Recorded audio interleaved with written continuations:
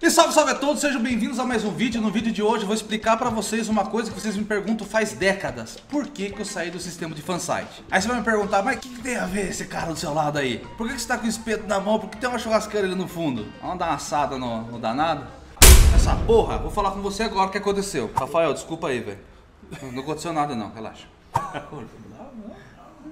Muita gente fala que Ateroide foi expulso do sistema de fansite. Ah, você fala mal da CIP porque você é um pau no cu. Que você só fala mal de, disso daí porque está cuspindo no prato que você comeu. Que você é um arrogante. Vá cagar, velho. Você não sabe de porra nenhuma. Primeiro vou conversar com você de uma forma legal. Vamos lá. Quando a gente entra para fansite, nós temos que seguir algumas regras. Primeiro que fansite, fã site. Não é fã YouTube. Você tem um compromisso com eles do seu site e apenas isso. Ah, Cateroida, o caralho, se tem o bagulho do YouTube lá também, é a mesma coisa, velho. Cu e bunda são coisas diferentes. Eu mandei um e-mail pra CIP enquanto eu estava no sistema de fansite e perguntei para eles se eu poderia fazer vídeo de outros jogos. E apresentei para eles, de início, dois jogos. Um foi Match in 2, no qual vocês já acompanharam no canal também, e o outro era futuramente gravar o vídeo de gameplay do Albion. A CIP me disse que que eu poderia fazer isso, afinal a minha parceria com eles era apenas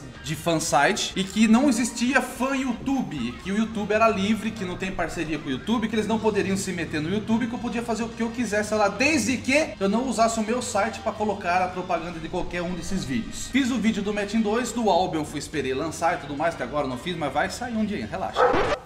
Ei, vai dormir? Então eu decidi fazer uma pequena minissérie de derivados do Tibia. O que, que é derivados do Tibia? Pegar outros jogos que saíram do Tibia e mostrar pra galera o que é possível fazer nos jogos, mesmo usando o Tibia como base, talvez. Foi então que eu apresentei a ideia pra ela, Cibsoft, de quatro jogos. Dentre eles, PokéX Games, Zezenia. Então ela me disse o seguinte, não pode. Nós não podemos apoiar você que você faça vídeo do Zezenia porque Zezenia nos roubou. Aí entra no no seguinte. Uma...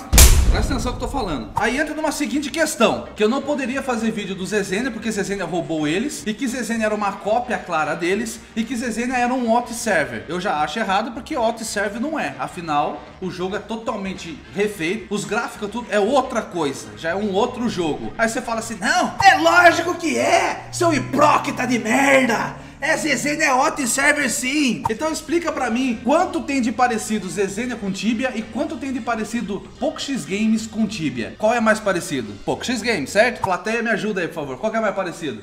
PokéX Games. Uh, dormindo, porra?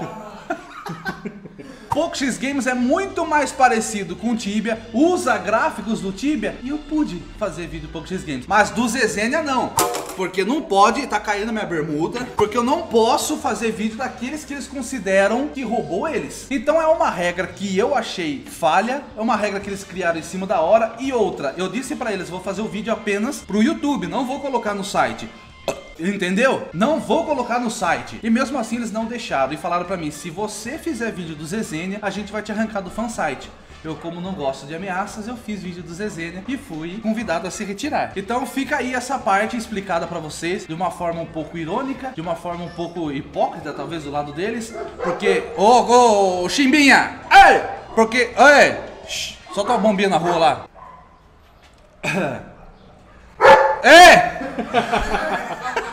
É interessante você avaliar essa situação, pois eles não gostam de jogos que copiam eles, né? Mas tudo bem, afinal eles copiaram o último online. Falou, forte abraço.